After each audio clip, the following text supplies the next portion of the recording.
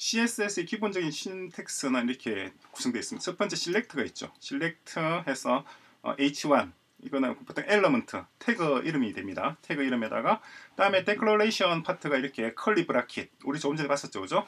curly bracket 하고 그런 다음에 이제 property라고 얘기를 합니다. 이 property는 어, HTML의 attribute과 같은 말입니다.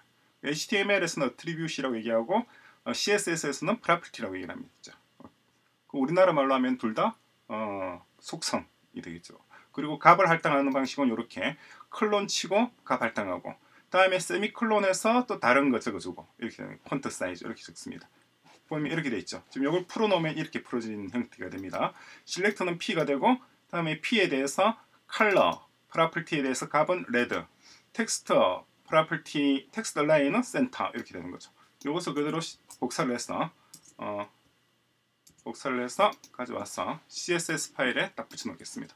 보시면은 selector 있고 다음에 curly bracket 있고 property property 두 개에다가 값 두 개 그죠? 이렇게 구성되어 있습니다. 그죠? 그럼 P가 있어야 될 거 아니에요? index HTML에 일단 뭐 HTML HTML 5 이렇게 하나 만들어주죠. 만들어준 다음에 필요 없는 것 날려버리고 어, 이것도 뭐 랭귀지 en도 필요 없어요. 날려버리고 여기다 P를 하나 만들어 주겠습니다. P에서 P에서 하이 만나서 반갑습니다. 사실 뭐 별 반가울 건 없지만 그렇게 반가운 걸 합시다.